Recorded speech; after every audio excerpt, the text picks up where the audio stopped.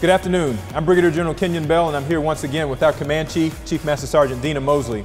And we're excited to bring you once again Sheppard Speaks. And today we're back at one of the places where we started early on, back in the F-22 location. We did. We are coming to you from the F-22 Maintenance Training Center. And we're excited to be here with um, our folks today. This $21 million facility was completed back in 2007. And it's utilized by four different squadrons right here at Sheppard Air Force Base as they train our maintainers to work on this amazing aircraft. This facility is almost three football fields long, training up many of our Air Force specialty codes. Everything from uh, avionics technicians, propulsion technicians, our egress folks, crew chiefs, fuel systems. There is almost no specialty that does not come through this, uh, this particular facility. But today we're spending time with our armament technicians out of the 363rd Training Squadron.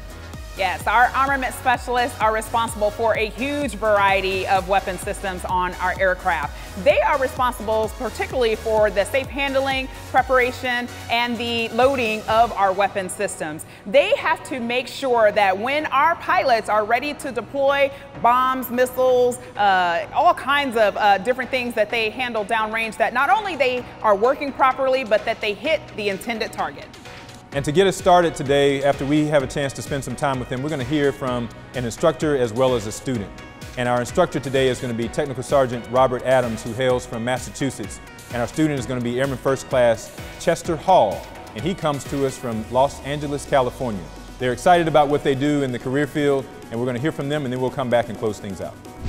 Before I came into armament, I kind of just realized it was one of those iconic Air Force jobs, actually putting missiles on a plane, seeing them fly off, being on a like a runway instead of you know stuck in an office. But before that, I knew it was a maintainer kind of job. It was going to be hard work, but it's also gratifying, and Raptors are interesting.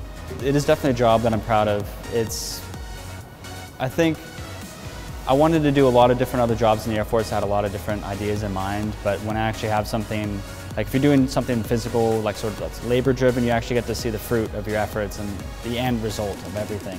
With armament, you definitely have that along with you and you get to learn, you get to master your job and every day it's, it's different. It's not the same sort of mundane work.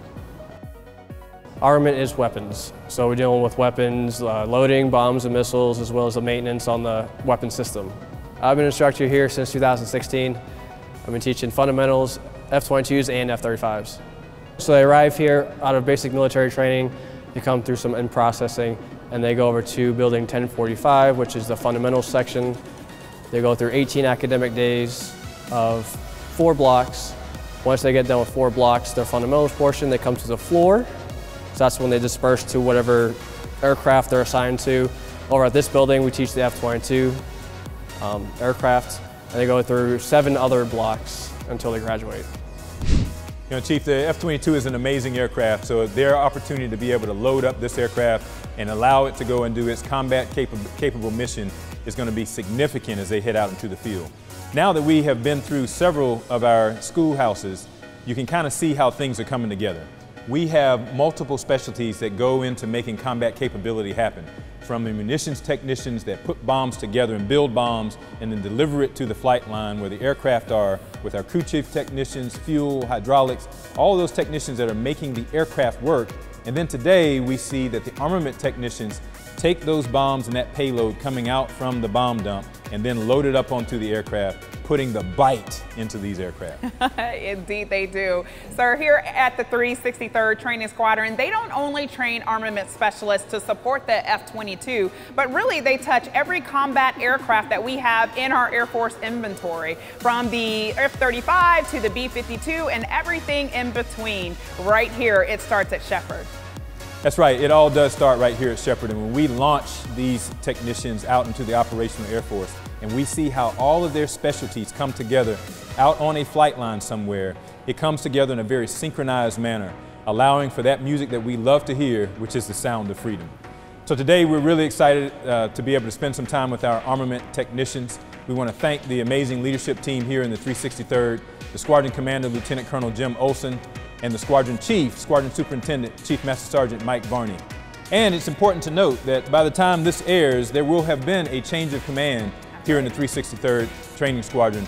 And so we welcome Lieutenant Colonel Eric Markov, the new squadron commander, and the new squadron superintendent, Chief Master Sergeant Jason Groff. So thank you very much for spending some time with us today. Join us here in a couple of weeks. We're going to take a little break next week uh, for the 4th of July, and then we'll be back with more of Sheppard Speaks.